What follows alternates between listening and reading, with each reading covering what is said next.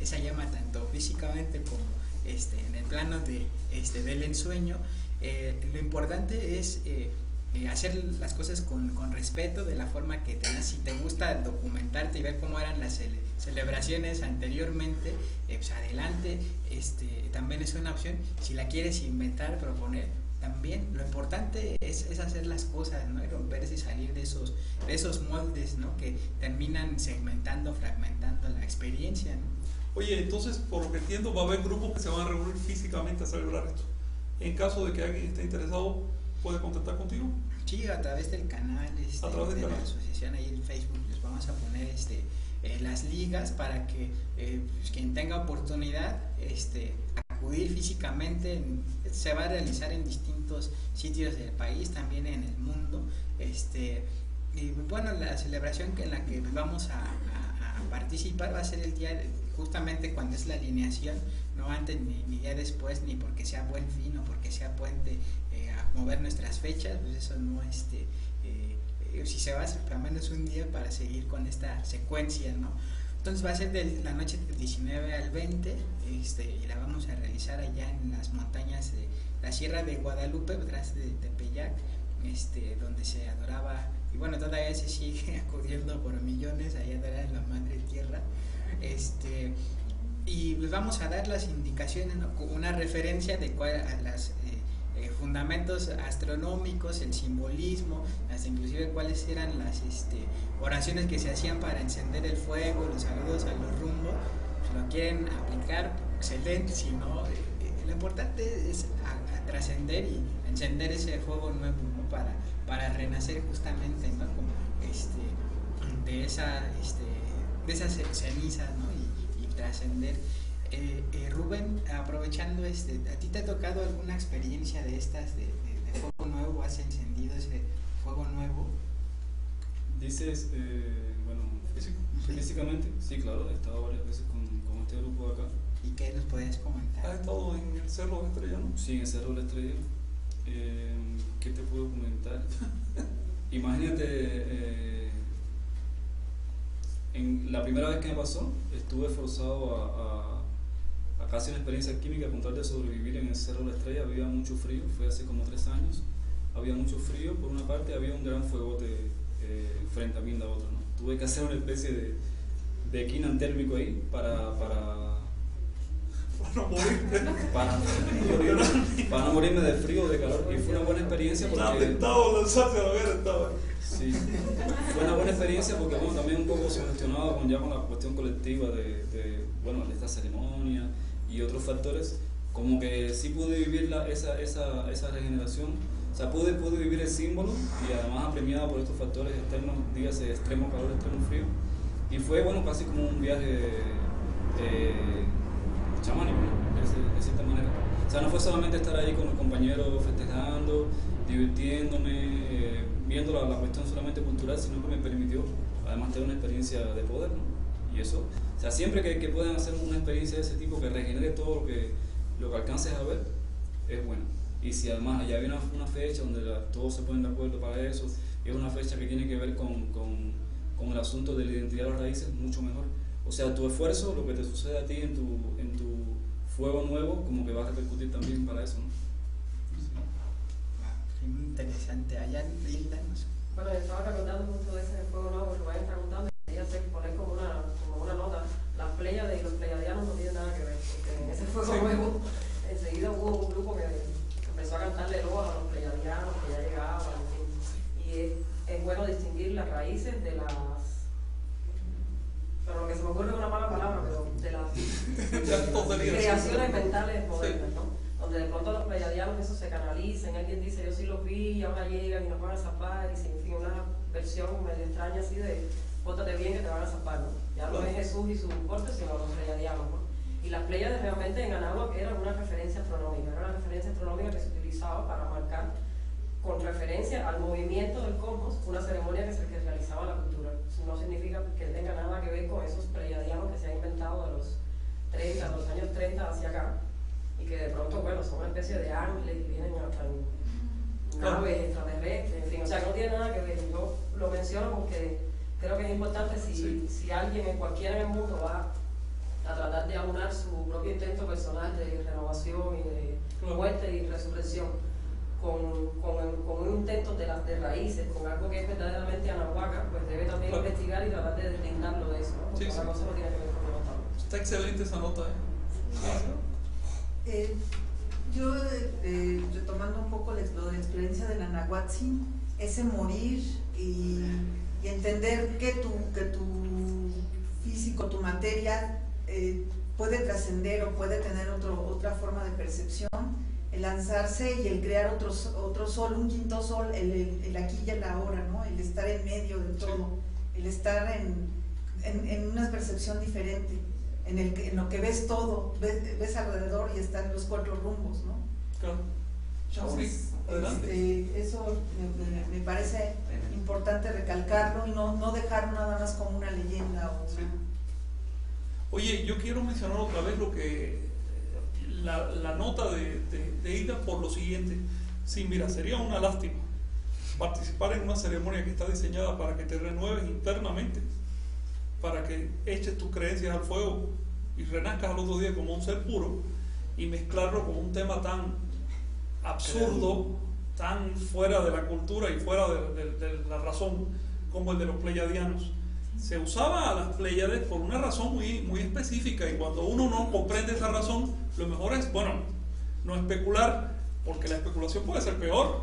Este, sería lastimoso recuperar la, ceremonia de fuego nuevo para caer en, esta, en esa nueva era pleyadiana.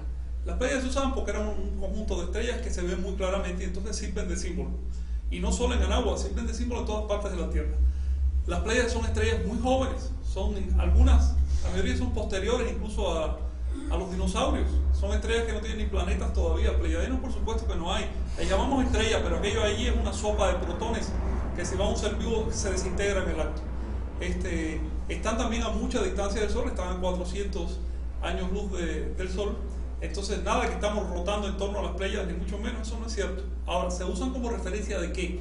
Del movimiento de esa serpiente que vemos ahí, blanquecina, que se llama Mishkot Adelante, niña, ponte como este, esa serpiente es la galaxia, por supuesto, ¿eh? y se le llamaba serpiente de nubes porque, bueno, parece una serpiente y parece una nube al mismo tiempo. Y entonces esa formación rota, tiene una rotación de 26.000 años. Y para saber dónde empieza esa rotación y para marcar esa rotación tú tienes que poner un punto de referencia, que obviamente tiene que ser una estrella, ¿no? Entonces las Pléyades eh, te permiten medir con exactitud ese ciclo. Es una cuestión astronómica. Eh, no hay que rebajarla al nivel de una creencia tan, tan buda como que si estamos contactando con los hermanos pleiadianos. Yo estuve en esa ceremonia en que prácticamente se convirtió en otra cosa, ¿no? Y la verdad da lástima porque la idea es atrévete a arrojar tus prejuicios y sobre todo tu ignorancia al fuego. ¿Ves? Quema tu ignorancia con poco conocimiento. Este, no para nada usa la ceremonia para más de lo mismo, ¿ves?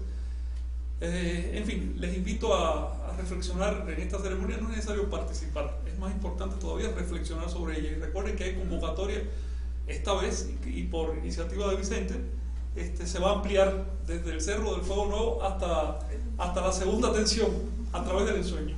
Así que Chauri, tenemos también ceremonia del ensueño.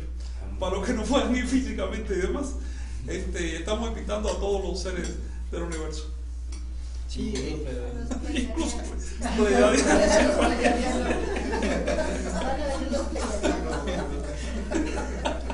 Sí, también este, para, para comentar ¿no? al, respecto del el último fuego nuevo que se encendió en, en, Anáhuac, al menos el que quedó registro fue en 1507, ¿no? este, aquí en México, Tenochtitlan.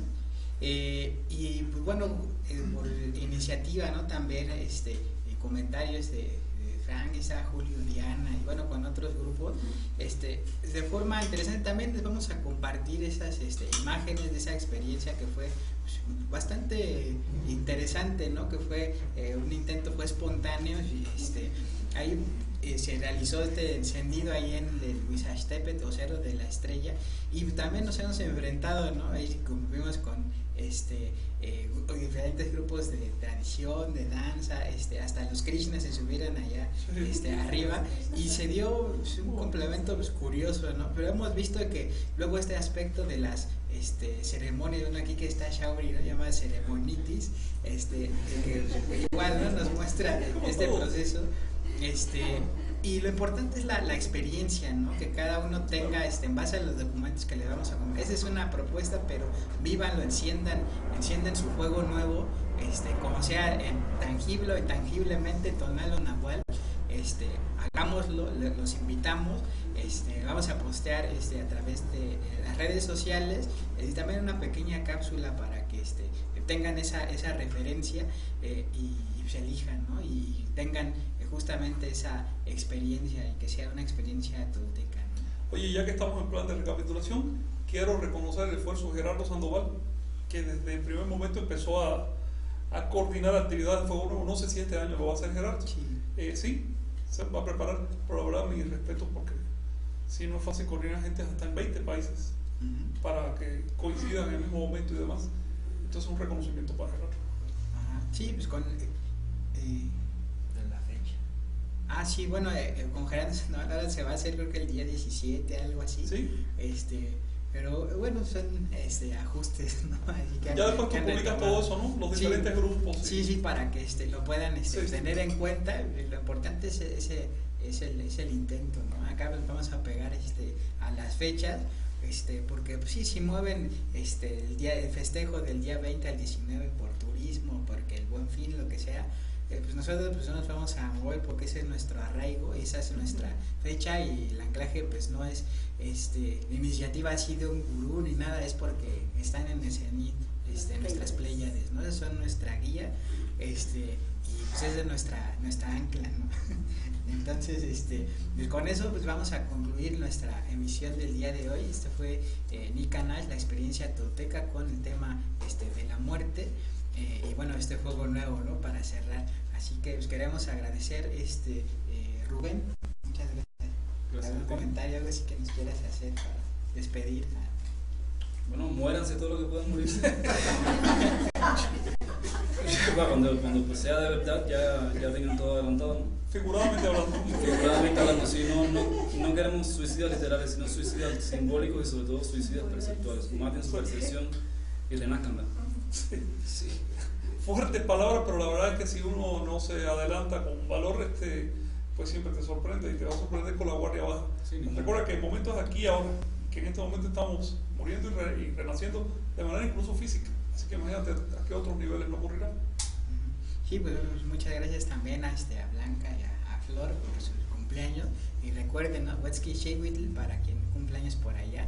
Y pues muchas gracias por su compañía. Les mandamos un abrazo y los esperamos aquí en la siguiente emisión que va a ser sobre este Carlos Castañeda o Castaneda. Este, eso, de 10 a 12 a través de este canal Toltecayo, de mi canal La Experiencia Tolteca.